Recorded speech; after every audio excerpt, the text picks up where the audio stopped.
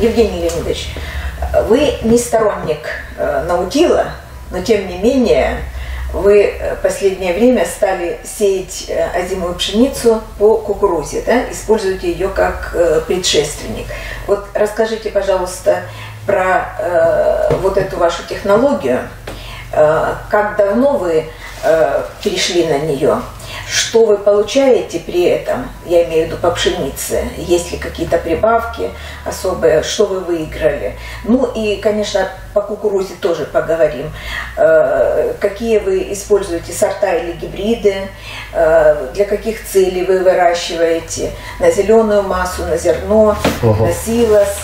Э, вот, какую ширину шага ФАО используете по кукурузе, сколько у вас вообще сколько у вас в хозяйстве занимает кукуруза, это э, ну, опытные какие-то участки или э, это э, какие-то товарные посевы? Что, ну, принцип, что вообще не, ну, понятно, в принцип, хозяйстве принцип, кукуруза, да, что принцип, собой принцип вопроса ясен, то есть мы идем как бы от обратного, да, то есть мы, наша главная, одна из главных тем, конечно, это скорее всего, значение кукурузы и его роль э, как предшественника в севообороте. Но здесь э, по большей части нам надо посмотреть, наверное, что в итоге у нас может получаться, да, вот в таких звеньях э, севооборота, таких как, например, кукуруза и прямой посев пшеницы. На самом деле, вот вы такую фразу сказали, не сторонник э, наутила. Вот. По большей части, я бы даже, как бы сказал, э, не сторонник, а не противник. Вот. То есть, вот не противник наутила, наверное, это было бы более подходящее определение. Но поймите правильно, мы э, никто э, сейчас вот на данный момент, чтобы как бы эту тему закрыть, да, э, никто не, не знает в долгосрочной перспективе, как кажется, наутил или как скажутся классические технологии, да, потому что все очень э, меняется э, с такой скоростью, и у нас и климатические, и почвенные некоторые условия, да и вообще просто значимость разных культур в экономике нашего, нашего государства тоже изменяется. То есть то, что раньше было таким как бы обычным, это присутствие многолетних трав, бобовых культур, то сейчас это, или там присутствие ярового ячменя того же, то сейчас эти площади очень сильно сократились, и поэтому здесь возрастает роль уже пропашных предшественников как каких-то элементов для создания научно обоснованного севооборота. И вот, э, вот этот элемент наутила, как прямой посев по кукурузе, по подсолнечнику, э, естественно, был взят э, у этой технологии. Но здесь просто э, используется, ну, наверное, один схожий элемент или одна схожая технология. Это прямой посев с помощью специальных сеялок. Вот. Э, на самом деле в районе у нас э, эту технологию начали осваивать еще лет 10 назад. Это в хозяйстве СПК колхозе Советинский, СПК колхоз Лиманный. То есть в Неклинском районе эта технология не новая. Еще до массового внедрения наутила уже прибегали и использовали эту технологию. Да. Э, чем это было обусловлено? Тем, что э, первое, э, ну все мы знаем, что предшественник кукуруза на зерно очень сложный предшественник для подготовки почвы. Если убрав подсолнечник, мы можем в принципе даже по сухой почве, используя дискаторы для первичного дискования, это более тяжелые дисковые бороны. Потом вторично это более уже предпосевные это, дискаторы, такие как там у нас рубины, многие-многие, ну и типа такого э, орудия. Вот. То, э, в принципе, мы можем ну, более-менее гарантировать, э, более, более-менее гарантировать качественный сев. А вот по кукурузе зерно необходимо ну, только один вариант, это сжигание стерни.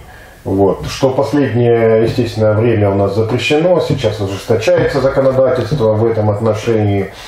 Плюс э, кукуруза рассматривается уже более южных районах как фузариозно опасный предшественник, соответственно, руки так и чешутся все это сжечь, убрать и посеять спокойно зимую пшеницу.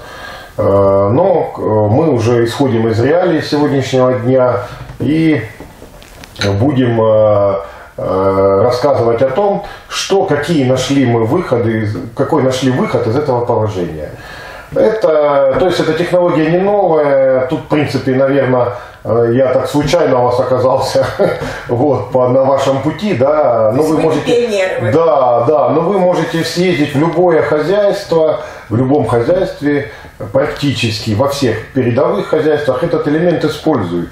И кто-то, может быть, что-то там по-своему дорабатывает, у кого-то какие-то особые сеялки есть, кто-то по-своему выбирает там Э, ну, скажем так, направление сева, внесение удобрений жидких там или твердых. Ну, тут уже идут особенности. Подбор какого-то определенного сорта. Э, ну, коли уже требуется поделиться нашим опытом, то мы используем для посева сеялку Краузы – 6-метровую, она агрегатируется э, джандиром семеркой, ну это для того, чтобы все понимали, какой класс трактора. Приблизительно вот у нас вот эти 6 метров. Мы можем только таким классом э, трактора спокойно э, производить посев э, по кукурузе, то есть это полная загруженная сеялка, она с несением удобрений, с несением то есть семена можно от 2 там, до 600 килограмм высевать. То есть э, чисто технологически у нас никаких проблем нет. Э, первый момент, который необходимо учитывать, это все-таки какими комбайнами производилась уборка кукурузы. И как правильно был настроен комбайн для данной уборки. Потому что не всегда получается, некачественная уборка кукурузы на зерно э, способствует э, э, ухудшению качества сева. Ну, я думаю, те, кто... Это зависит от высоты стерни, да? Это зависит от высоты среза, от измельчения остатков, от их распределения по полю. То есть здесь э, э, следует э, начинать эту технологию, начинать следует с уборки непосредственно самой кукурузы на зерно. То есть необходимо настроить более равномерное распределение остатков, э, необходимо уменьшить высоту среза, это ну, что касаемо нашей сеялки, да, вот, может быть, для каких-то других сеялок э, это не, ну, и не нужно, но э, у нас, скажем так, не специализированная сеялка, вот тут надо этот момент сразу обусловить. То есть хозяйства, которые наутил, они используют э, это дорогостоящие агрегаты, которые ну, действительно ну, назовем, они подходят под полную э, нулевую обработку. А у нас будем такой промежуточный вариант. Мы его используем и в обычной технологии. Ну, эта сеялка имеет э, те же калтера, которые разрезают э, перед сошником Э, нарезают семенное ложе, разрезают растительные остатки вот, и производят посев семена на заданную глубину. То есть у нас более универсальная сеялка. Такие сеялки более повсеместно распространены, поэтому э, при, даже скажем так, не обладая каким-то конкретным дорогостоящим агрегатом, можно этот посев производить. Но это все будет зависеть уже там, от погодных условий. А, давайте поговорим, э, вот, основываясь вот, э, на тех хозяйствах, которые не используют в широком плане технологию наутила, которые пользуются только ее отдельными элементами. Да? Ну, давайте, раз уже у нас кукуруза, то это э, была произведена уборка. И последующее мы еще дополнительно э, пытаемся, э, э, ну, будем так сказать, Э, чуть-чуть переработать эти остатки поверхностные с помощью э, запуска в поле тяжелых катков, э, которые попадают в них, между ними стерня, кукурузу, они ее кладут, где-то вырывают, где-то кладут, для того, чтобы ну, сеялки было проще работать. Ну, скажем, это так вот, мы такой прием используем. Вот. Далее мы э, всегда э, отмечаем на таких полях, э, что при прохождении каких-то осадков, например, в том же сентябре, в августе, на этих полях влага все время задерживается. То есть, в принципе, посев по этим площадям можно производить в оптимальные сроки для получения уже э, сходов, которые распустились, э, будут уходить э, в зиму распущенными. Но, э, например, если сравнивать 2019 год с 2020, то в 2019 году это какая-то влага в августе выпадала, и она аккумулировалась, сохранилась в верхнем слое почвы, то в 2020 году этой влаги не было. И преимущество этой технологии прямого посева, она никак себя не выразила. А то есть, э, вот эти пожнивные остатки, они не аккумулируют воздушную влагу? Нет, ни в коем случае. Они, ничего, это невозможно.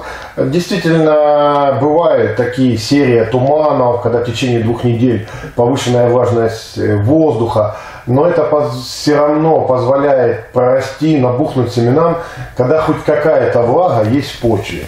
А, чисто так вот в абсолютно, ну не в абсолютно сухой почве, но в почве, которая близко к значениям абсолютно сухой, в принципе, никакие моросящие дожди, никакие, никакая влага в виде тумана, она не поможет сходам.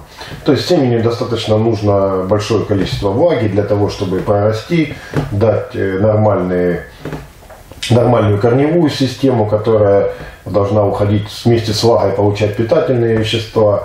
Вот. То есть, э, вот наглядный пример. Э, мы внедряем эту технологию минимального сева – с одной стороны, с экономической точки зрения, с точки зрения э, ну, получения гарантированных сходов, но э, приходят условия, как сложились в 2020 году, и эта технология становится не актуальной для данных условий. Поэтому, понимаете, э, тут можно сказать, что мы обладаем, ну, э, э, не то, что там волшебной палочкой, да, но обладаем вот такими э, средствами, когда мы можем под каждые погодные условия э, выработать свою стратегию сева. Вот. Ну, здесь по кукурузе мы с вами обговорили, что сжигание невозможно. Поэтому, наверное, на будущем я, я, наверное, даже не то, что уверен в этом, что все площадя, которые под, э, уходят из-под кукурузы на зерно, будут сеяться только прямым севом потому что очень богатый опыт накоплен э, за эти десятилетия, как что выращивается. А вот, например, если взять для сравнения предшественник подсолнечник, да, вот, то здесь необходимо уже будет смотреть э, по конкретным погодным условиям. Вот, что, что мы... Это тоже используются определенные катки, которые э, измельчают эту массу, которая остается на полях после уборки комбайнов. Многие, кто-то самодельными устройствами, кто-то покупает более дорогостоящие. Но, скажем так, э, эта технология, а, она вошла уже относительно, даже и многие фермерские хозяйства ее используют. Вот. Это не только экономия горюче-смазочных материалов, экономия времени, э, скажем так, э, эконом, это аккумулирование влаги, да, э, это э, такая технология, которая ну, на нас перешла из разряда таких что-то уникальных в повседневные. Вот. Если мы как бы возьмем какие-нибудь ваши интервью, которые были сделаны там 5-7 лет назад, вот. Ну, это, это было как новинка. Это было как, да, как какая-то инновация. Ну, на самом деле, здесь, э, ну, справедливости ради, это уже технология не новая. И чем-то таким вот ну, что-то такое еще рассказать это, э, ну, не представляется возможным. Ну расскажите, вот что получаете? Вы сажаете Значит, э, ну, Ух ты, вот он. Все, уже ничего не слышали, да? Не, не, ну слышно, но он будет. Ага. Этого я не видел. А я смотрю, его нет. Так, здесь все. Ну, мы можем заново, могу все рассказать. Да, я уже слышал просто. Приправка есть вот э, на... Ну, смотрите, давайте, давайте, да, да, давайте, давайте вот так вот э, с вами как бы разберемся э, в виде вот э, так, ну, разложим вот эти условия по полочкам, да. Вот смотрите, что нужно, чтобы получить гарантированно высокий урожай пшеницы. Нужно чтобы пшеница сформировала продуктивные стебли, то есть раскустилась в осенний период. Почему? Потому что в осенний период э, она образует более мощную корневую систему. Это корне, э, накапливается определенное количество сахаров. То есть мы получаем э, гарантированно озимую пшеницу, которая перезимует и которая будет с корневой системой развитой. И в случае наступления более засушливых условий весной, она все равно гарантированно даст средний урожай. То есть э, давайте возьмем это по аналогии паровых пшениц. На парах всегда присутствует влага, и всегда, когда едут э, проводить какие-то семинары, что-то смотреть, агроном душу отвести, чтобы чуть-чуть поправить свое психологическое состояние, он приезжает на паровые поля. Вот, вот здесь э, вот этот э, предшественник кукуруза в условиях прохождения каких-то осадков, ливней, да, э, в летний, позднелетний период, начало осени позволяет э, произвести туда сев и получить гарантированные вот эти вот всходы, раскученные осенней зимой пшеницы. Соответственно, и урожайность, этот, потенциал, потенциал, этих, э, потенциал этих пшениц уже будет выше. Что там? Ну вы можете сказать это в цифрах, что э, вот на таких посевах э, по кукурузе э, вы получали прибавку? Или а, нет, э, ну, э, опять же, смотрите, я же говорю, не э, возможно что-то судить да, по какому-то одному году. Когда, вот приведу вам простой пример. Давайте с вами поимпровизируем, да, опять же. Вот у вас раскустилась озимая пшеница, которую вы посеяли по предшественнику кукуруза, да, стерневому. Вот. И да, пускай, ничего страшного, пускай это будет. Если вас не дует, то этот. Вот, давайте им про, про этот, э, ну, будем, э, с чего мы им симпровизируем. Да, давайте вот э, рассмотрим конкретные условия. Вот у вас посеяна пшеница по предшественнику кукурузы. Кукуруза на зерно, прямым севом. Вы получили э, Э, раскущенные растения, которые уже гарантированно уходят в зиму, э, и вы за них не беспокоитесь. Но что может быть? А рядом вы решили провести эксперимент – взяли эту кукурузу на зерно, передисковали раз, передисковали два, передисковали три, пытались а там разбить ее еще груду этими тяжелыми катками, кое-как посеяли, э, потом прошли осадки, вы кое-как э, докатали. И вы получили э, уход в зиму всего лишь шива. Ну, в фазе шива, в фазе одного листочка. Да, не раскустившийся. И вот вы приезжает вам э, газета «Деловой крестьянин» или издательство «Крестьянин» и спрашивает, там, Иван Иванович, а какой у вас, э, вот как вы, где вы прогнозируете урожай э, больше? Там, где вы провели прямой сев, или там, где у вас в фазе шива?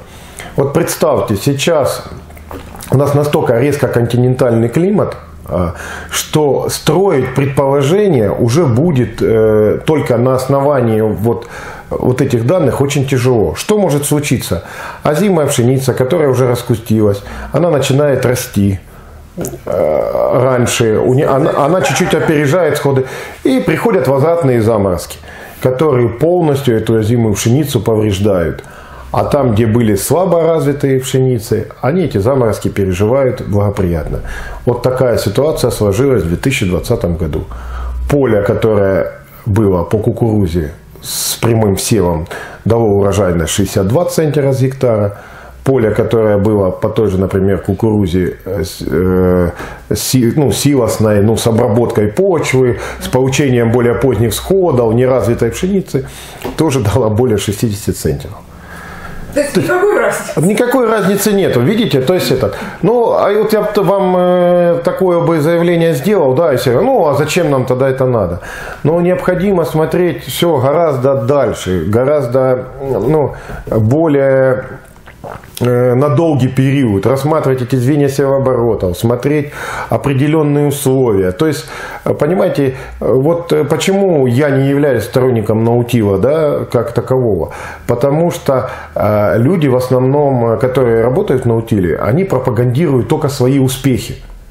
Они пропагандируют только то, что у них получается. Но никто практически, практически не говорит о тех проблемах, которые у них возникают из года в год. А этих проблем очень много на самом деле. Они, они просто у всех э, индивидуальные, но эти проблемы есть. Так и здесь, понимаете, если мы только будем уходить, только упираться в одну технологию и вот слепо следовать ей, то, ну, скорее всего, мы подвержены будем неудачам. Потому что каждый раз необходимо адаптивно, надо постоянно доработать, постоянно совершенствовать, э, постоянно анализировать э, э, все эти элементы. И мы же, ну, кукуруза на зерно на самом-то деле культура, которая не занимает достаточно больших площадей у нас. Хотя с точки зрения фито, даже санитарных, вот если минуя только фузариоз, да, там все прочее, у нас кукуруза это прекрасный предшественник на самом-то деле. Она пропашная культура, то есть э, проводится там можно междурядные обработки, да, эта культура э, очень хорошо в звене с подсолнечником, э, то есть э, мы можем теоретически, да, ну и практически все-таки избавляться от заразихи, да, вот, то есть она является растением, которое провоцирует рост заразихи. Об этом тоже есть куча исследований. Не все, каждые гибриды по-разному там, ну, э, но опять же, если это направление уже изучено, его можно дальше внедрять. Э, затем кукуруза – это культура, которая все-таки не требует каких-то глобальных Э, обработок почвы, там, э, она, под нее можно использовать вообще поверхностную технологию, поверхностное рыхление, то есть не производить пахоту, да, а, то есть а производить, да, производить э, ту технологию, которая называется противоэрозионная. Вы же наверняка сейчас интернет, очень много сообществ агрономических, сельскохозяйственных, которые действуют через различные мессенджеры, да, а, приходят ролики, как плывет почва в Ставропольском крае, как выдувается почва там в Краснодарском крае, когда идут ветра, когда у нас тут стоят пыльные бури. Ну это из-за чего? Из-за того, что кто-то увлекается каким-то определенной одной технологией, да? кто-то для себя решил, что я все буду пахать. Э, спахал все пошли, и потом э, в определенный год э, начинаются эти ветра, которые длятся ну, не менее двух-трех недель. И это все как на, ну, понимаете, да, все эти негативные последствия. Или, например, идут дожди огромные, вот, те, которые осадки, которые Э, ну, просто, будем так говорить, сверх нормы, да, сверханомальные какие-то. Но же не бывает. Вот это вот в этом, э, буквально на этой неделе, да, это вот единственный такой дождь, который э, равномерно шел, почва его впитывала, все. А в основном же как, заходит какой-то фронт, ливни, все это промывается, все это. И кукуруза это та культура, которая позволяет вести все-таки накопление в верхнем слое почвы растительных остатков, оставление вот этой дернины, оставление этой стерни. То есть вы э, можете спокойно э, ее включать в свои звенья севооборотов и не беспокоиться, хотя бы, хотя бы проводить тем самым противоэрозионные мероприятия. Потом же эти кулисные посевы, потом технологии стриптил, когда нарезается только под один рядок. Да? То есть посмотрите, очень много кукуруза, я бы так сказал, я сам как бы заканчивал факультет агроэкологии. Вот кукуруза это один, одна из культур, которую можно использовать очень хорошо в агроэкологическом плане. А что такое агроэкология? Агроэкология это здоровье, здоровье наших почв, это вообще их физическое состояние, да, вот. И поэтому я считаю, что, э, например, Э, звено севооборота, где будет использоваться кукуруза, потом на прямой посев пшеницы производиться, и потом пускай вот сельхозтоваропроизводитель спокойно это поле перепашет, посеет подсолнечек. Никто, никто не отговорит, что раз ты используешь уже э, вот этот элементы наутила, то тебе надо вот все, вот дальше отказаться. Нет, почему? Нужно... По кукурузе и подсолнечник сеете, да? Нет, имеется в виду, э, по, ну, вот вы просто, чтобы смысл поняли.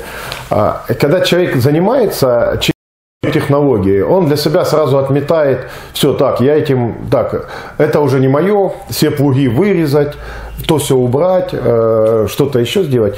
У вас в течение, э, например, трех лет вашей минимальной технологии создается переуплотненный слой. Особенно... Тяжелая почва? Конечно, у нас же тяжело, этот, все-таки чернозем, тяжело суглинистый. Ну, есть более, более площадя, конечно, разделен, разделено хозяйство, как бы есть и такие, и такие. Вот, э, но основа, конечно, у нас приазовский чернозем, да, и э, представьте, такая зима, в которой, вот как позапрошлом году, в которой отрицательные температуры, ну почва не промерзала. То есть почва сама не разрывалась. не разрывалась, как вот говорят, что этот как это природный плух, да, это морозы, это корневая система растений, там посев рапса, там и все прочее. Вот у вас не случилось этого. Вы сторонник наутила. Что вы будете делать? Для чего? Вы просто да, вы работали, производили прямой посев.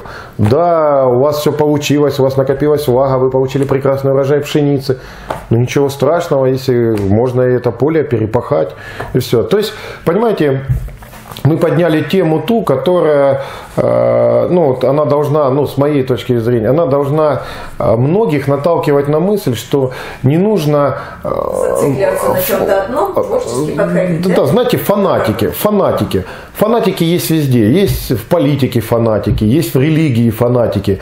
И, э, во... них не будем Да, нет, я вообще говорю, что есть э, фанатичные такие движения, которые не предусматривают ничего. То есть, ну, человек вот,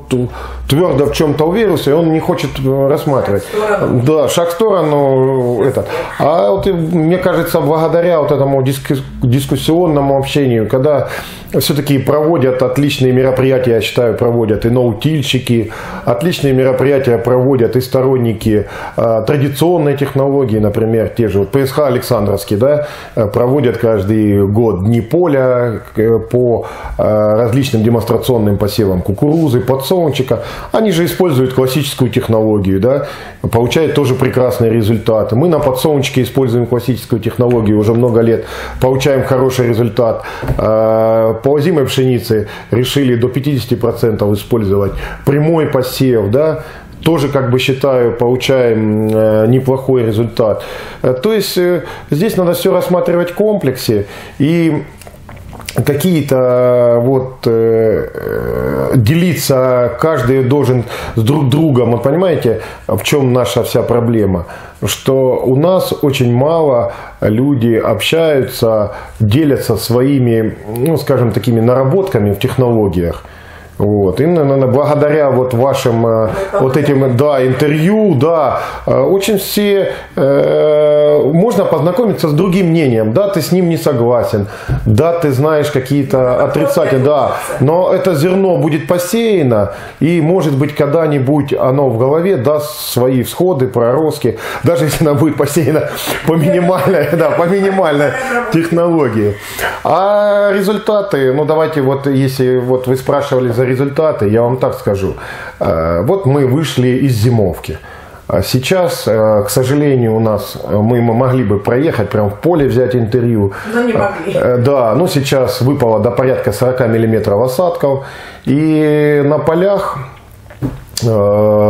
картина по прямому посеву гораздо лучше, чем э, по полям, которые э, проводилась, э, ну, давайте назовем ее классическая обработка. Вот. Почему так получилось? Первое. Сеялки, которые по минимальной технологии, они более равномерно распределили семена на заданной нам глубине. Потом вот эта почва, которая не подвергалась никакой обработке, она, в принципе, влага, которая была в ноябре, она быстро достигла э, этих семян, э, семена набухли, э, быстрее проросли и дали более равномерные дружные всходы. там, где была классическая обработка, ну, э, я могу показать и фотографии, и все. Ну, посев семена вот так вот сходят, волнообразно. То есть какие-то семена на глубине 5 сантиметров, какие-то, то есть неравномерный посев это э, не, не удалось достигнуть равномерного посева, потому что была ну, очень пересушенная почва.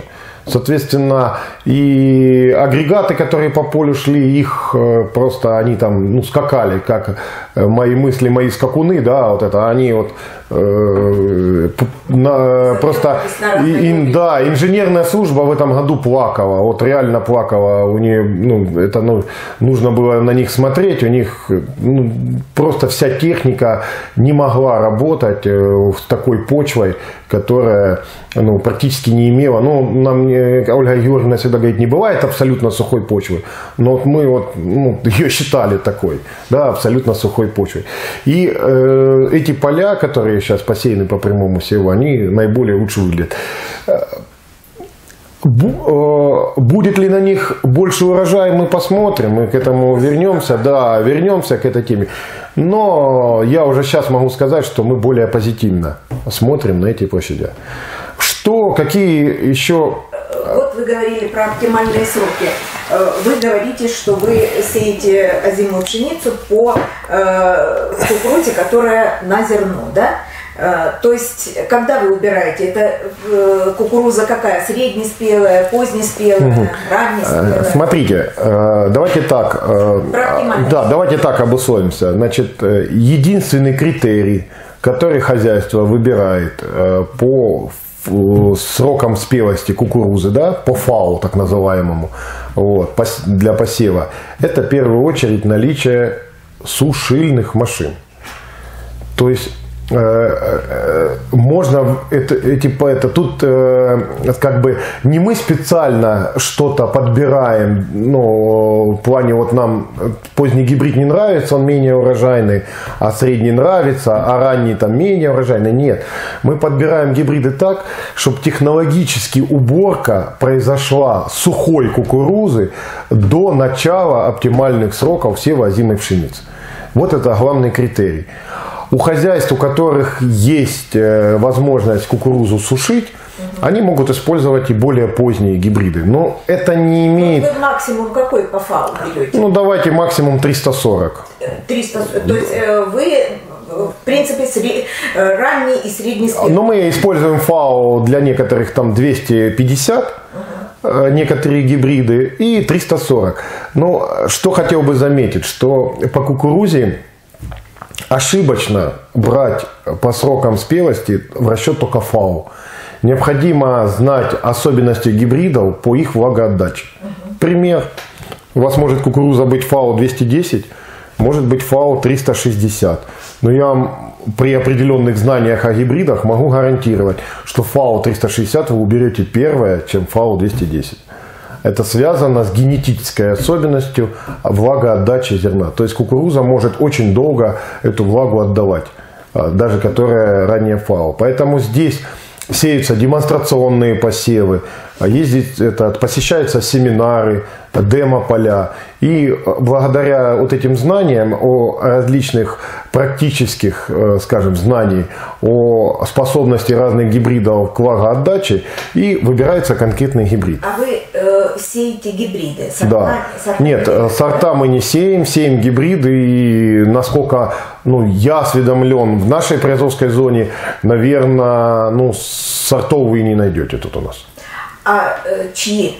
Э, импортные? Вот э, здесь уже, давайте так, семена, которые мы сеем, произведены все в России угу. на данный момент. Ну, селекция чья? А селекция одна американская, это пионер, да, угу. или Картева, как у них сейчас э, новое название. Вот. А вторая селекция это ладожские. Это непосредственно наша. В прошлом году, да, в прошлом году, пожалуйста, в 2020-м Ладожский гибрид определи, опередил на 10 центнеров гибриды. А вы кукурузу сеете, у вас э, животноводство есть, да? Значит, давайте нас. У нас, да, у нас, вот, э, чтобы понятие было, у нас три вида кукурузы, назовем ее так.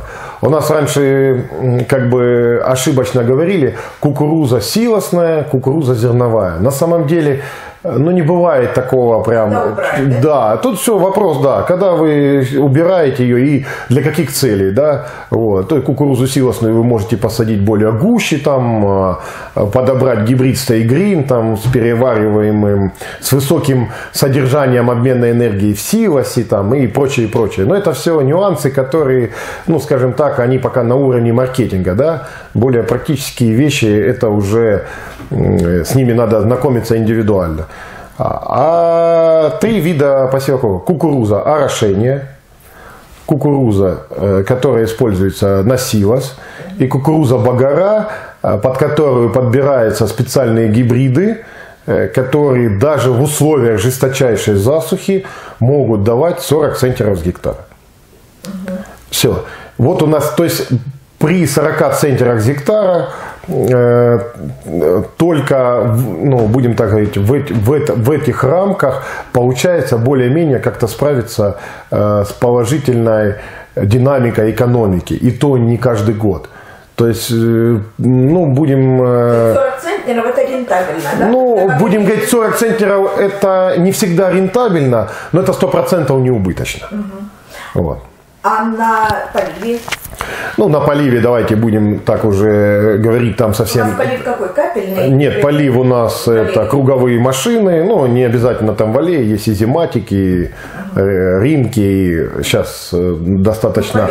Ну, да, достаточно поверхностное, да, орошение. Э, давайте так говорить, орошение, которое 100 центнеров с гектара позволяет убирать, оно, в принципе, э, соотносительно по э, прибыли для нас, опять же, для наших зон и для нашей технологии, где-то 60, 60 центнерам на багаре. Вот, то есть там большие затраты по электричеству идет, по дозам удобрениям. Э, не забываем о засолении том же почв, потом все равно это придется туда вкладываться. Это и внесение органических удобрений, и борьба с болезнями, с вредителями. Ну, то есть все нарастает как снежный ком, понимаете? То есть э, мы вроде бы решаем одну проблему, недостаток влаги сию минуту, а потом сталкиваемся с другими. То есть, если бы мы вот сейчас рассматривали бы, э, кто-то сидит, тот, кто всю жизнь выращивает кукурузу на багаре, и э, тот, кто только за орошение ратует, да, говорит, нечего там на багаре. Вот, ну, вот мы, люди друг друга не понимали. А мы стараемся все-таки себе э, э, эту технологию распределить, ну, чтобы точно э, знать, что те проблемы, с которыми мы столкнемся на орошении, мы сможем их решить. Вот. Но у нас всегда есть в запасе, которая на багаре. Какие площади у вас под кукурузу? Э, ну, давайте, площади под кукурузу у нас 15% от общей площади, а подсолнечка... А, а общая э, Ну, общая 5 тысяч. 5 тысяч? Общая, это 15% под подсолнечка. Вот 30% у нас пропашные, да, остальные площади, э, это порядка 10% многолетние травы, и остальные поля мы стараемся занять полностью озимыми культурами. Вот. То есть э, посеять те культуры, которые бы максимально использовали бы влагу в осенне-зимний период. Вот. Для кукурузы также важно, как вот для подсолнечника, э, не попасть э, вот в этот период цветения, когда сильная жара. Да, на самом ну, на, не, ну на самом деле, да, кукуруза очень зависит от наличия воздушной влаги, когда, когда она э, э опыляется, да, будем говорить, эти нити, э, которые мы э, всегда, тот этот, некоторые дети, да, любят молодые, или используются они в медицине, да, ну вот все. Вот именно в этот момент, в этот момент, чтобы пыльца не была стерильной, нужна определенная влажность воздуха. Действительности, если в этот момент кукуруза попадает по жесточайшую засуху, когда наблюдается э, не то что почвенная засуха, за почвенную засуху мы ну, молчим пока, потому что все равно влага, если кукурузу сеять в оптимальные сроки, да, влага есть, а именно э, та влажность воздуха, которая находится в атмосфере в момент опыления. Да, это самый критический период. И, э, ну что, ну, можем только поделиться своими как бы наблюдениями, что даже в этот критический период, э, произойдя опыление, можно получить порядка 35 центнеров с гектара. Вот. Нужно все эти, э, в первую очередь, э, необходимо в течение многих лет вести наблюдение а, за сроками сева, куку, сроками сева кукурузы, когда получены всходы, когда у нее вот это вот, э, понимаете, разные гибриды, вот э, э, разные гибриды по, по-разному в разные периоды и начинают цвести, да, происходит опыление, вот. И как вы подберете, то есть вы же не должны, вы, вот мы всегда говорили, мозаика сортов озимой пшеницы, да, путь Людмила Андреевна Беспалова всегда нас призывала, что мозаика сортов – это путь к гарантированному успеху. Да? Вот. Также и в кукурузой. Но ну, ни в коем случае нельзя вот, э, упереться в один гибрид, сеять его и забыть за другие. Ставку на одно что-то делать. Ни в коем случае. Надо моделировать, надо думать, ага, этот у меня гибрид начнет, э, нужно опыление, чтобы благоприятные условия были через неделю, а этому еще недельку надо, э, чтобы он подошел основном же и кукурузу, э, когда мы там, ну, пытаемся первую кукурузу сломать на варку. Все говорят, о, вот этот гибрид уже хороший, он уже готов а тот еще не готов. Хотя они сеялись в один срок, у них там фау может одинаково быть, еще что-то. Вот. Но а, есть индивидуальные особенности. И это агрономы в хозяйствах, э, они должны это все подмечать, да? они должны вот эти вот особенности пытаться у себя применить. Вот э, нами за сколько лет нами подмечено, что гибрид PR84, например, 2.0, который уже практически, ну там, наверное, уже снят с производства, да, вот, он у нас великолепно переживал все эти засушливые, э, ну, скажем, годы, когда был под, под вопросом э, вообще, насколько кукуруза опылится, на какой процент. У нас происходило нормально, мы, мы, ну, мы могли получать эту кукурузу даже и 50 центнеров, понимаете? Вот. А рядом другой гибрид, он урожайность показывал в два раза меньше. И мы всегда говорим, от выбора гибрида кукурузы, это единственный, одна из единственных культур, вот на этом этапе выбор гибрида, он э, весомый вклад вносит именно в конечный урожай. Вот сорта зимой пшеницы, мы ну, выбрали там, к примеру, юку, вместо юки посеяли гурт. Ну, к примеру. Ну, этот. Разница, ну, ну 2, ну 3 центера. Но это не так существенно, там можно пересмотреть, вы там раньше то убрали, ту позже, это и качество лучше, там хуже. Ну, а все это может снивелироваться, все эти условия. А, а это конкретно, там, например, по предшественнику кукуруза. Вот я почему за кукурузу говорим. Вот у вас выбор стоит, юку или гурт сеять. Вот вы выбрали гурт, а сосед посеял юку и он получил больше. Но это не будет больше там в пределах э, определенно. Или на одном поле вы получили там больше. А вот от выбора гибрида кукурузы очень значительно. То есть урожайность может, разница в урожайности может достигать до 30 центнеров.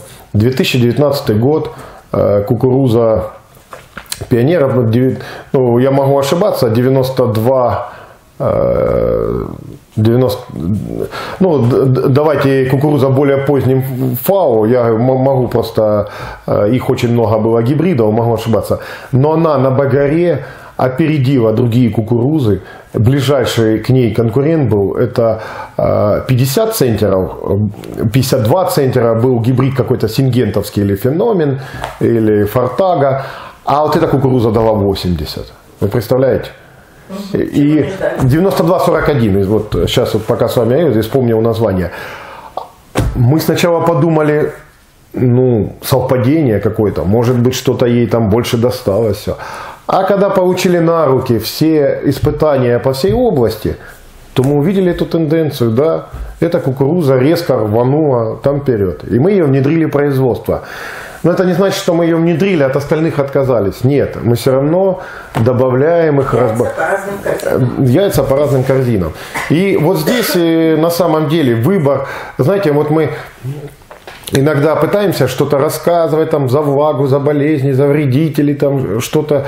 А вот в каждой технологии, каждой культуре есть вот такой фундамент, о котором надо говорить в первую очередь. Вот у кукурузы фундамент – это все-таки генетика. Это выбор определенного гибрида. Это не говорит о том, что у подсолнечка этого нету, у пшениц, там, у ячменей и у многолетних. Там тоже есть. Просто там это не на первом месте. А, да, там это не на первом месте. Там все-таки на первом месте немного другое. А потом уже можно раскладывать дальше вот эти вот э, полочки, да, по, поэтапно э, всю эту технологию уже расписывать. Вот э, как бы так вот для нас выбор гибрида – для нас кукуруза по-любому используется под прямой посев э, э, для прямого посева пшеницы. Кукуруза использует. А что, что еще вы после кукурузы сеете? Или только пшеницу? Только пшеницу. Это ну, практически не, скажем так, можно после кукурузы посеять и другую культуру. Но мы же с вами рассказали основное правило, которое должно у нас сохраняться.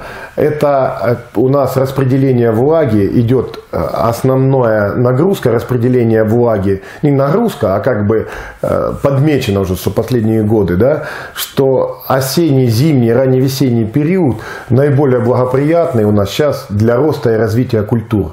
А потом наступают какие-то экстремальные засушливые условия. Поэтому если мы будем кукурузу оставлять под какие-то яровые, вот, это будет не э, логично, не логично э, в масштабе наших вот этих вот рассуждений о сохранении влаги там и всего прочего.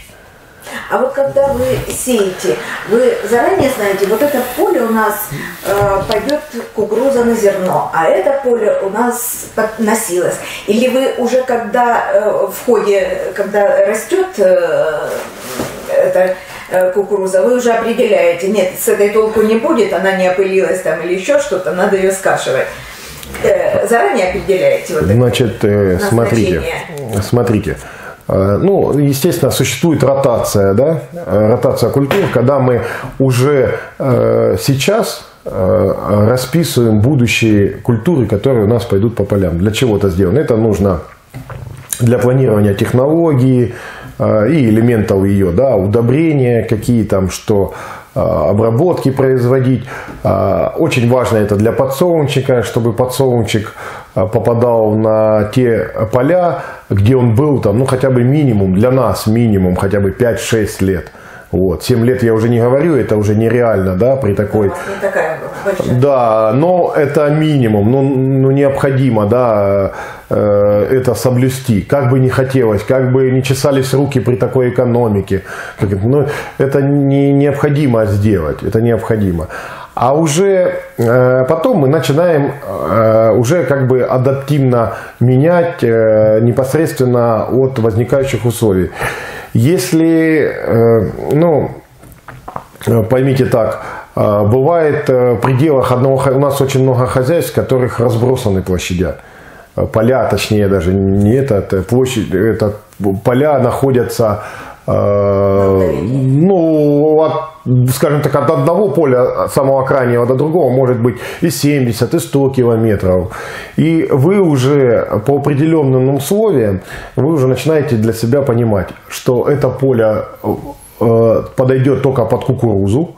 Вот. А то поле я, наверное, нашел мне под кукурузу, я все-таки посею там какой ну, подсолнечек. Все-таки буду рисковать там, посею подсолнечек, потому что влаги нету, а уже температуры почвы высокие, температуры воздуха высокие, а у кукурузы особенность все-таки, э, ну, практически всегда ранние сроки сева дают гарантированный результат. Нам ранний срок сева позволяет... А вот про, срок, про сроки сева, э, когда все-таки начинаете сеять? Когда вот смотрите, году, смотрите, что, в сроки, сроки сева э, только у нас как можно раньше, как можно, как мы можем выехать в поле, провести предпосевную культивацию, мы уже выезжаем сеять кукурузу. Э, ничего, пора, ничего, е, ну, а вот э, смотрите, в чем все весь, знаете, как это, сейчас рано, а потом уже поздно. Вот. Ну, э, у нас вот, например, вот у вас очень часто на Грабуке вот выступает Ольга Георгиевна Назаренко, да, или там Николай Андреевич Зеленский, ну, многие другие уважаемые наши ученые. И они вот, понимаете, они же не дают готовых рецептов. Они говорят, ну, не стоит, например, производить подкормку раньше 10 числа все, вот все вот э, для себя решили, все, раньше 10 числа мы не будем. Ну, ученые сказали. А ученые только дают, ну, приблизительно ориентировку, ориентировку, как делать. А уже остальное это технологические, это логистические аспекты, да. Вы не сможете за три дня э, подкормить, например, озимую пшеницу. Так и не, вам скажет благоприятный срок сева кукурузы с 25 по 1 мая. А еще между ними может быть ливневые осадки и вы сидите, ждете, когда же моя почва там прогреется до 6 там, градусов. И вот 25 апреля мая вы естественно, не вкладываетесь, у вас не хватает техники, вам мешают какие-то погодные условия, э, есть форс-мажорные обстоятельства, это, ремонт, это там, срочные ремонты, и у вас срок сева затягивается до 5 мая. Но вам же ученые сказали, с 25 по 1. А вы взяли и посеяли с 25 по 5. Вот. То есть тут уже приходится Есте... Естественно, и вы должны все эти работы начинать раньше. Вы должны это понимать. То есть, да, если у вас есть э, ну, такие ресурсы, что вы можете в этот срок с запасом уложиться, да, с запасом, пожалуйста, соблюдайте эти сроки сева. Вот. Ориентируйтесь, как у нас это, то цветение терна, еще каких-то там народных примет, я не знаю. Вот. У нас примета технологическая, как можем мы выехать поле, как можно запустить первую пропашную сеялку, когда она не будет э, забиваться, будет э, качественно сеять, мы тогда начинаем выезжать. То есть все, других... А на цветение терна ориентируетесь все-таки? Нет, на цветение терна не ориентируемся. Ну, я имею в виду дородные Од- однозначно, однозначно нет, не ориентируемся. Я говорю, это э, ну, не то, что бесполезно. Да, это информативно там, в каком-то плане. У нас установлены почвенные датчики, который фиксирует температуру почвы на глубине 6-7 сантиметров. Мы онлайн они нам передают каждый день в программу на мобильные телефоны, на компьютер. Поля оцифрованы, да? Поля, не, ну поля, конечно, все оцифрованы, поля мы все видим. Мы видим поля и со спутника, э, многие погодные явления сейчас это возможно. Э, это все. большое подспорье? Да, это, это очень большое подспорье, этим можно пользоваться. И ну, Э, те люди, которые э, как бы услышат сейчас эти слова, скажут, а у нас был негативный э, опыт, когда мы посеяли кукурузу рано, и мы ее пересевали. Мы, у нас тоже был негативный опыт. Но понимаете, этот негативный опыт, он тоже связан с определенными факторами. Необходимо э, четко знать энергию роста кукурузы энергии, э, данные по семенам, энергии роста. Иногда семена, которые не обладают высокой энергией роста, пытаются в ранний срок посеять и получают потом изреженные сходы.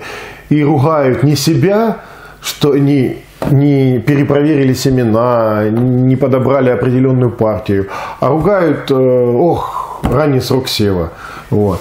Поэтому здесь э, не огульно ранится. Ну, тут надо знать э, гибриды, э, которые гибриды есть э, у них они могут дружно расти при более низкой температуре. Это все, они называются более холодостойкие. Вот. То, то есть, и так же, как вот вы принцип разложить яйца в разные корзины, посеять один какой-то холодостойкий гибрид рано, разогнать посевную. К этому моменту засвел терен, вы уже сеете другой гибрид, который более капризный. Э, ну, да, ну, это, ну, понимаете, как вот в любой, возьмите, возьмите, ну, хоть медицину, возьмите вот любую больницу, которая вот, где э, любой госпиталь, э, где люди, э, будем говорить, проходят, э, это там, э, ну, амбулаторные, там, стационарные лечения, без разницы. Вот. Там тоже такие же нюансы, но это, вот, ну, это везде, на любом производстве. То есть нету, ну, наверное, только где, я не знаю, где коробки какие-то делают. это медик на полях. Соответственно, и без знаний, понимаете, без таких знаний, которые вот, шаб, вот убрать, вот, вот реаль, реально нам надо поменять, убрать это шаблонное мышление. Почему оно у нас возникает, шаблонное мышление? Вот чтобы подытожить наш разговор, да, вот, э, почему необходимо все вот эти обсуждения и все прочее. Вот. То, что на уровне подсознания на нас действует все наши вот эти информационные ресурсы. Да? Человек а, раньше как информацию искал? Ну, вспомните, все мы учились в институтах, все писали различные курсовые, курсовые, курсовые работы. Ну, какой бы там студент-троечник не был, он все равно хоть один раз, но в читальном зале он был брал литературу, искал, выбирал, э, пытался что-то там, ну какие-то там, да, данные, что-то там делал, какие-то, может, даже свои выводы делал. Ну, может, кто-то помогал делать, но все равно. Но это была э, умственная работа. А сейчас мы пытаемся умственную работу переложить на поисковые системы сервисов. Нажали оптимальная температура для роста и развития кукурузы. Вы думаете, кто-нибудь читает дальше пяти сайтов, которые высветились? Нет. Прочитали, о, и приняли это за веру. То есть мозг обленился у нас. А почему оптимальная температура 6, почему не оптимальная 4? Да? Э, у нас стоит, э, стоят сейчас датчики на узле кущения озимой пшеницы. Вот пример приведу. И вы знаете, что некоторые пшеницы при одном градусе уже вегетируют. Давайте, если мы с вами зайдем сейчас в какую-нибудь поисковую систему, вы увидите среднесуточная температура для роста и развития растений пшеницы 5 градусов. Ну да, это когда-то было 5 градусов. Сейчас современные сорта, которые уже менее реагируют и на продолжительность дня, и на какие-то температурные там минимальные значения, они вегетируют. То есть селекция тоже движется вперед. Так и по всем гибридам кукурузы, подсолнечка. Необходимо постоянно, постоянно э, копаться, изучать новые факторы, новые данные, которые э, связаны с тем или иным гибридом, понимаете? Это и э, никакой учебник, никакой, никакая методичка вам не расскажет э, алгоритм действия, что надо делать, пока вы сами у себя... личный опыт. Это а, наблюдение, личный опыт.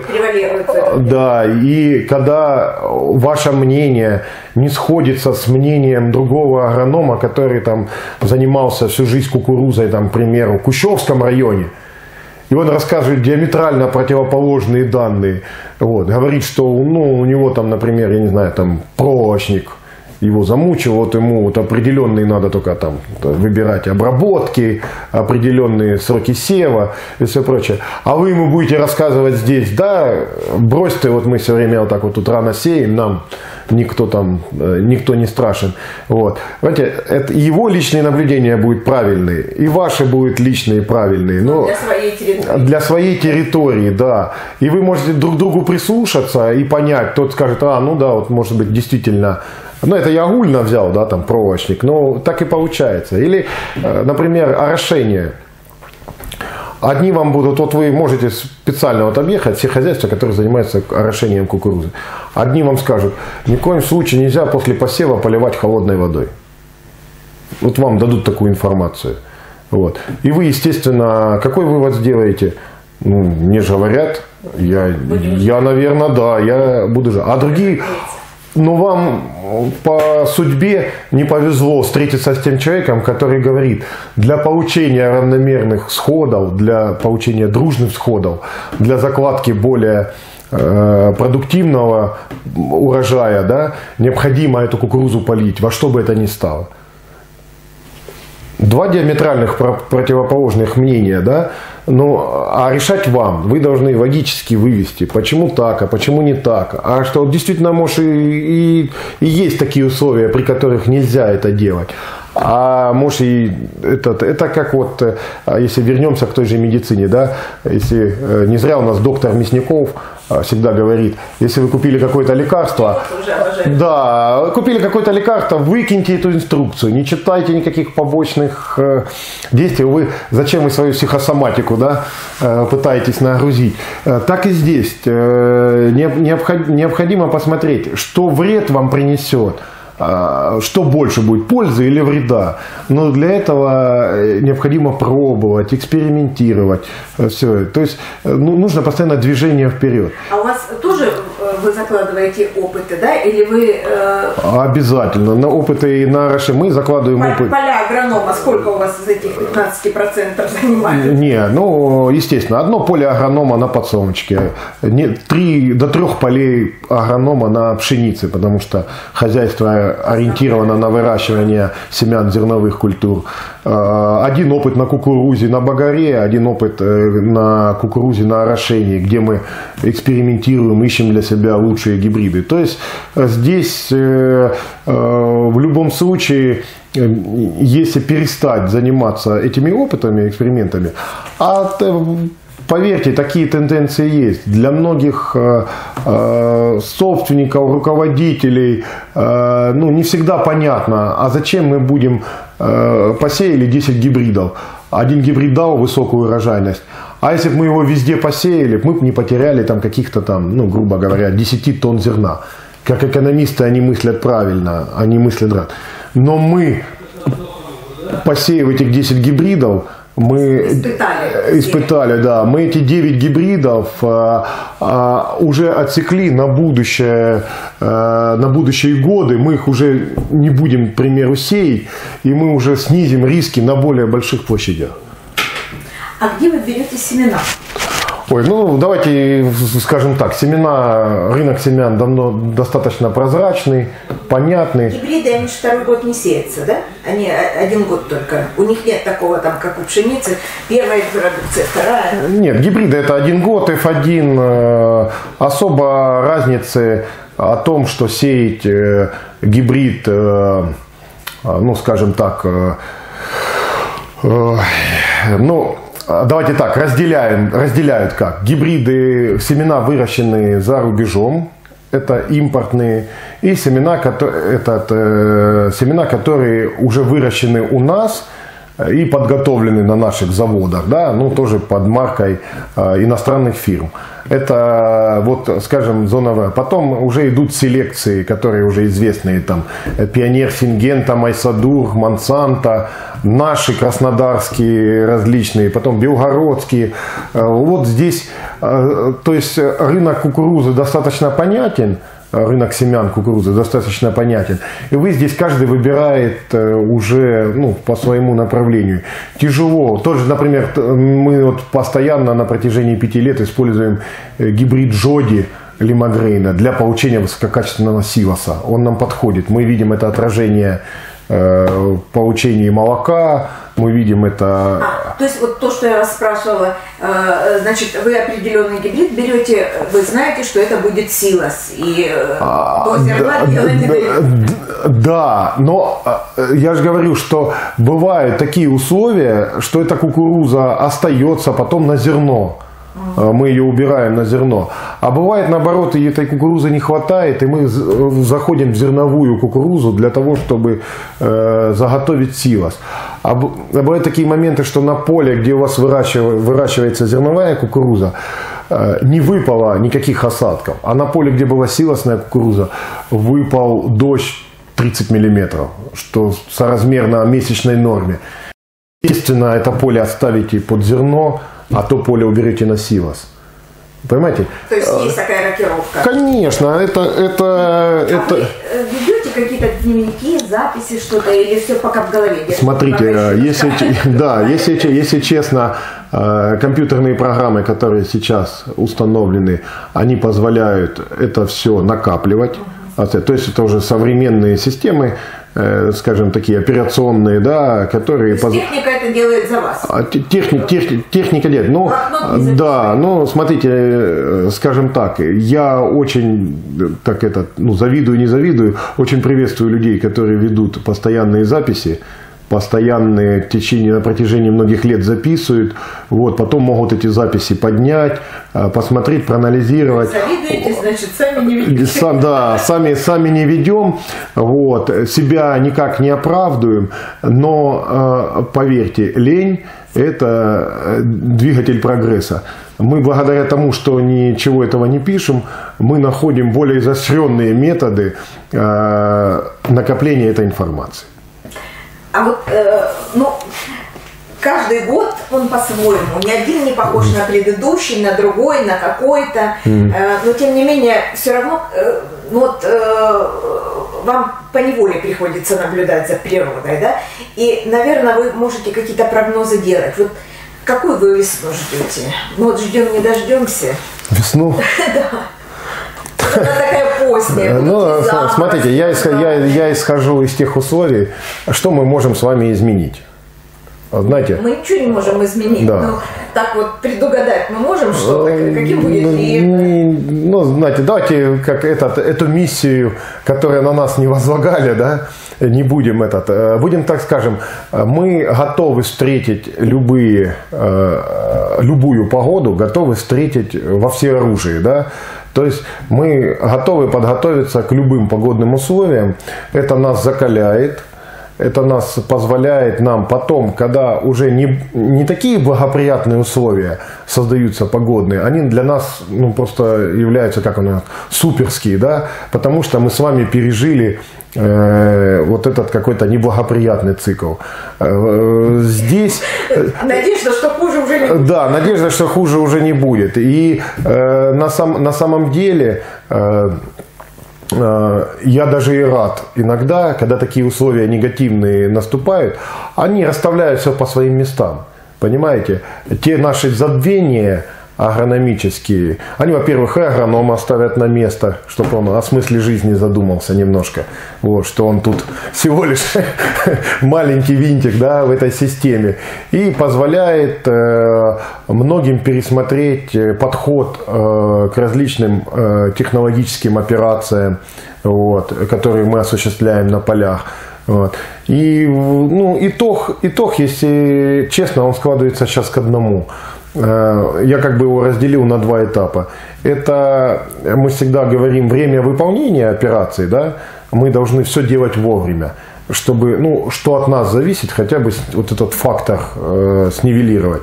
А второй этап – это все-таки все, вся технология должна быть заточена на сохранение влаги той, которая нам дается природой в конкретный год.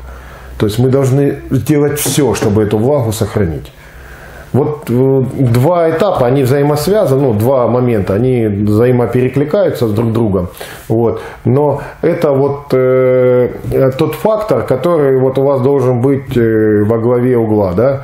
Вот. А то, что будет, какая будет погода, ну, поверьте, у нас даже на территории района может диаметрально противоположные быть. У кого-то может за два весенних месяца выпасть 60 миллиметров осадков, а у кого-то всего лишь 15. Вот. И, Сколько у вас в этом году выпало вот сейчас? Ну, сейчас с 1 числа, с 1 января по нынешнее число 100 миллиметров. Это нормально? Это 25% годовой нормы минимальной, скажем так. Угу. Минимально. То есть это как бы шикарненько да? да на, на... Вот смотрите, это в краткосрочном плане это шикарно, угу. а в долгосрочном это ничто.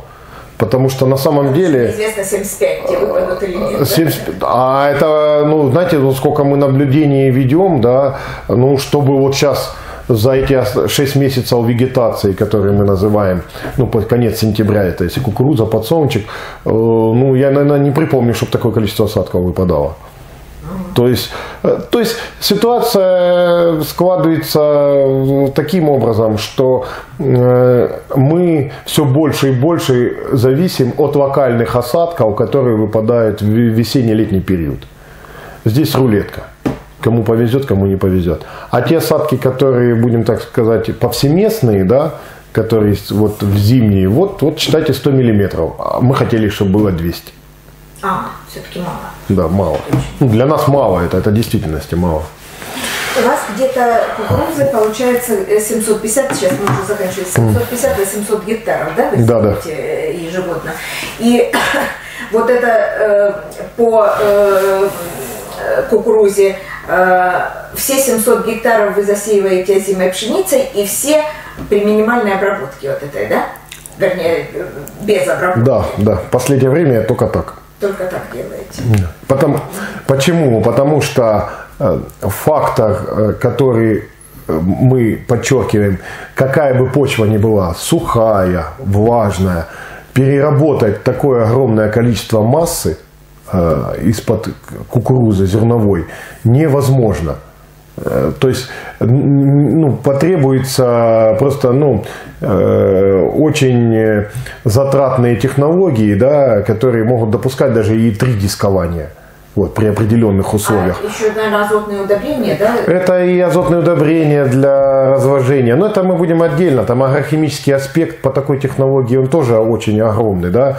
И по борьбе с заболеваниями, и по борьбе... Э, первый, вот если мы так будем это рассматривать, э, первый фактор, который сразу вы столкнетесь, все мыши будут у вас за счет того, что вы на поверхности все куча остается э, кукурузы, которая там не домолочная, потери, да, так назовем. Э, мыши все это знают прекрасно, они начинают там э, обустраивать свои колонии. Заселяется, как у вас Левенцовка в Ростове.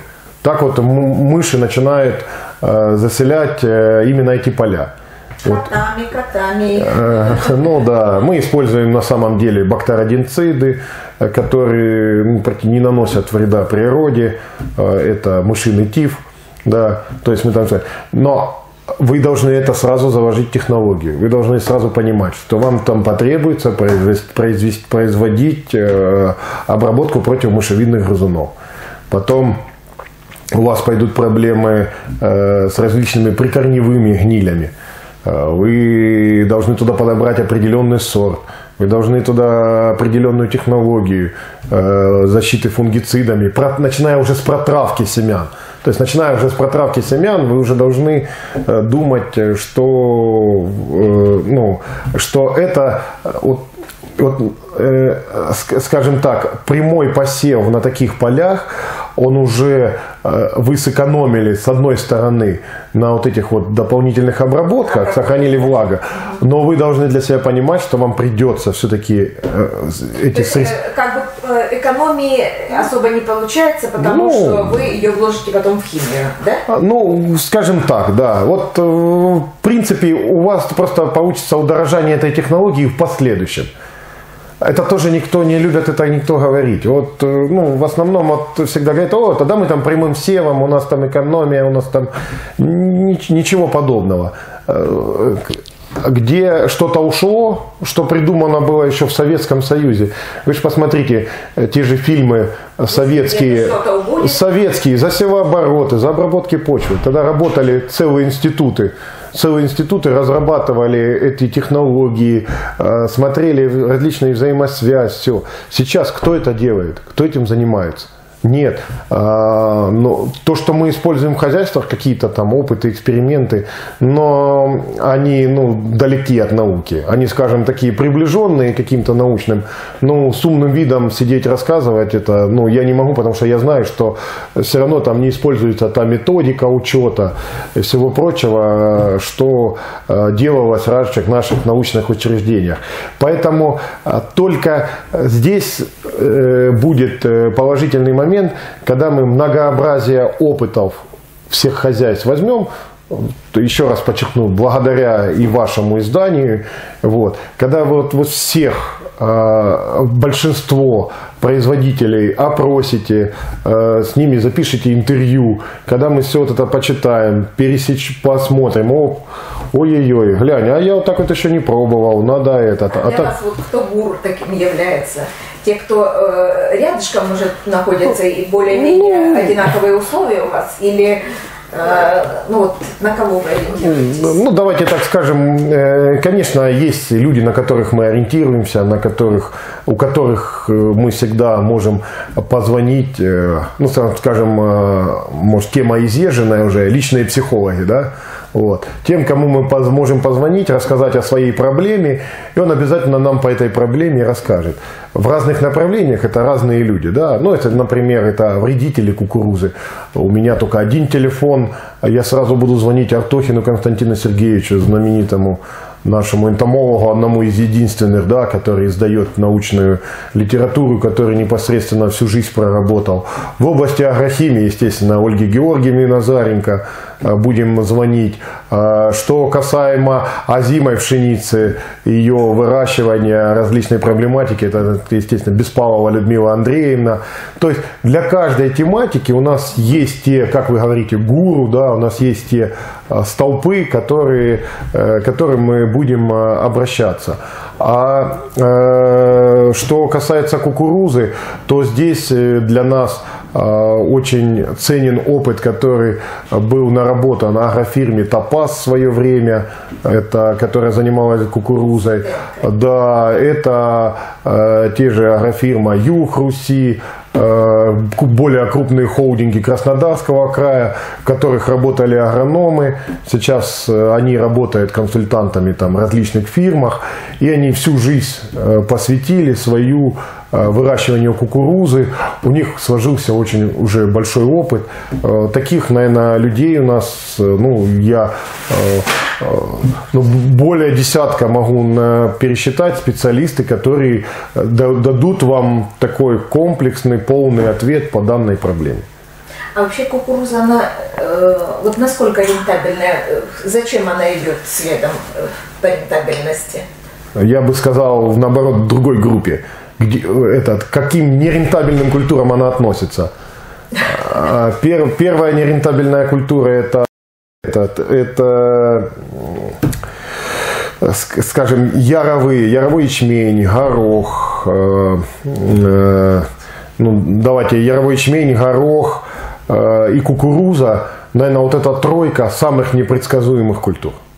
А, просто непредсказуемых, да? А непредсказуемых в плане рентабельности. Mm. То есть зачастую бывают такие года, когда срабатывает в ноль. То есть это, это важно понимать, понимаете?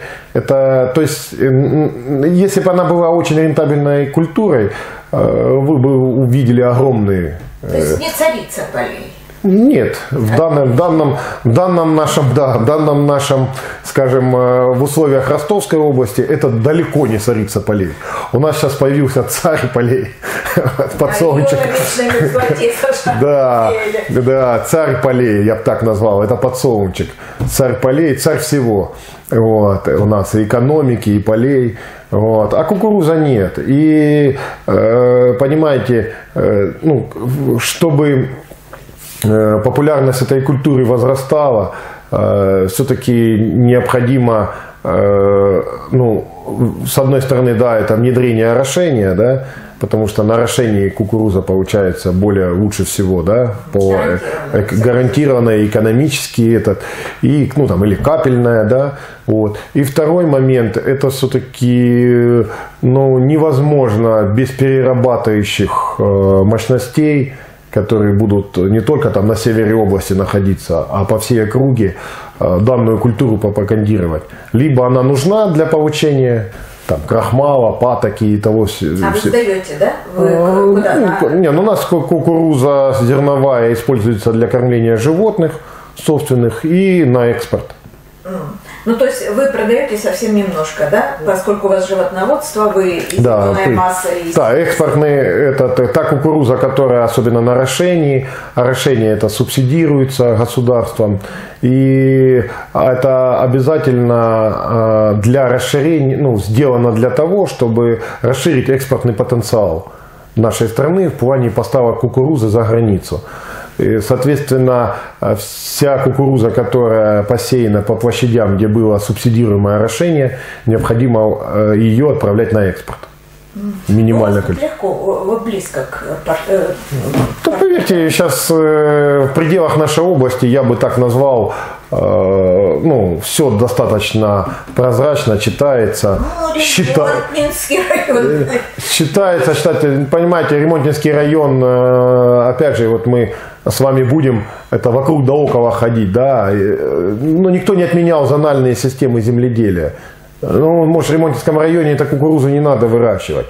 Да, там они сеют. Да, я, да, вот, поэтому здесь, здесь вот, понимаете... Я, я имею в виду экспортный потенциал ваш и... Ну, понимаете, если бы, если бы здесь э, были, был, ну, была бы более-менее прозрачная экономика, да, и гарантированные отсутствие э, того, что мы завтра проснемся, а у нас будет введена какая-нибудь пошлина или введен, введено эмбарго.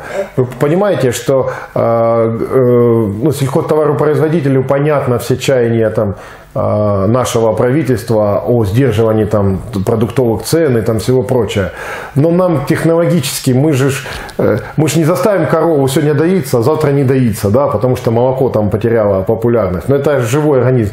Так и поля, мы ж не, если мы уже посеяли кукурузу и уже под нее все готовили, но мы ж не перестроимся быстро на другую культуру, да, чтобы ей заниматься. Это же, понимаете, это цикличность производства. С подорожанием сколько э, ну, планируется у нас с подорожанием, э, сейчас будем так говорить, э, планируется довести до 50% наших площадей подорожания. А сейчас сколько? Действующая 100 и вводится в эксплуатацию еще 250. И подорожением у вас только кукуруза или... Э, а, и... Возможно, все культуры, и пшеница, и люцерна. А, здесь все, я же вам опять рассказываю, все будет зависеть от одного критерия, от прозрачности рынка. А, то есть там, где мы будем а, эту продукцию реализовывать. То есть, если надо, будем поливать что угодно, что выгодно. Тут только так. Вот, вот, то есть на первое место остается экономический а потом уже вот эти, что мы вам с вами вот этот час беседовали, технологические аспекты, это, это все отбросит. Первое, да, первое экономическое, да. Спасибо большое.